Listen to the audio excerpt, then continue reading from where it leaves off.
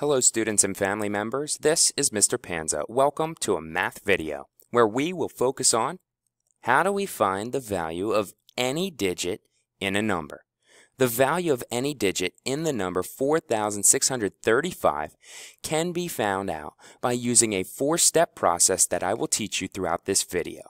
For example, if we were looking for the value of the number 6 or the digit 6 within the number 4,653, you can follow these four steps and get the answer every single time. Let me show you how. The first step is singing the place value song. The song goes a little something like this.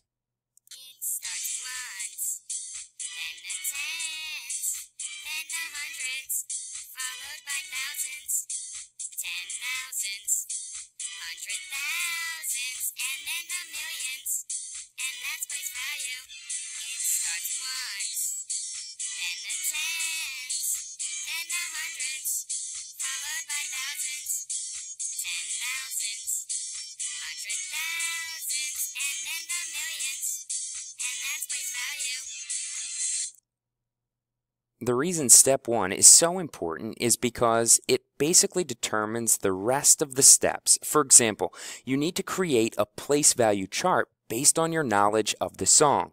So when you are creating that place value chart, you should be singing the song and then creating the chart to make it look something like this.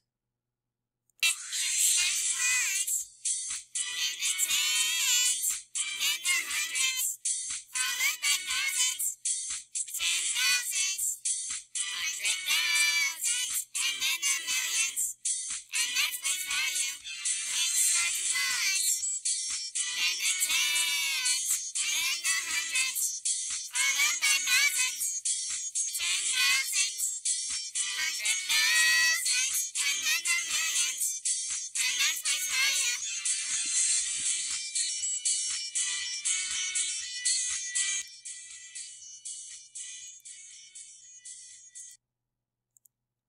As the song wraps up, you should have a place value chart that looks something like this. From the right to the left, it starts with ones, then the tens, then the hundreds, followed by the thousands, ten thousands, hundred thousands, and millions place value.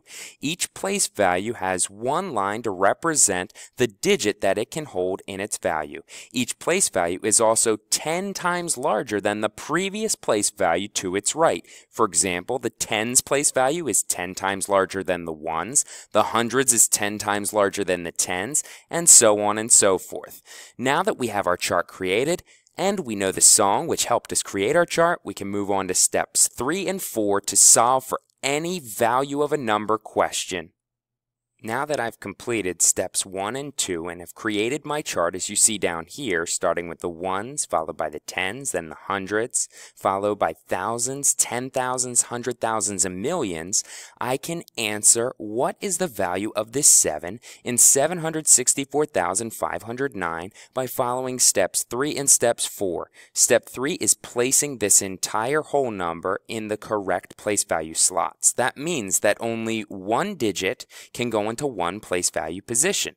So I know that the 9 is in the ones, the 0 is in the tens, the 5 is in the hundreds, the 4 is in the thousands, the 6 is in the ten thousands, and the 7 is in the hundred thousands. Now many of you already know what the value of the 7 is just based on the fact that there's the place value that it's in.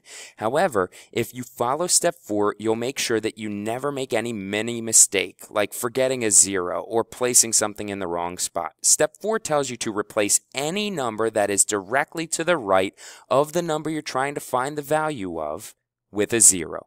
So in 764,509, the 6 turns into a 0, the 4 turns into a 0, the 5 turns into a 0, the 0 remains a 0, and the 9 becomes a 0, which tells you that the 7 is not actually worth 7 at all. It's worth 700,000.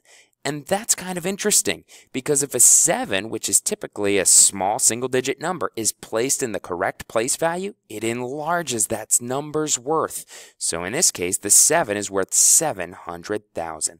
Following these steps each and every time will help you answer questions like in the worksheet that you'll try out next. You can take a look at that worksheet and the homework help video in the video to the right of this one. on Mr. Panza's website. Thanks, and I hope this helps.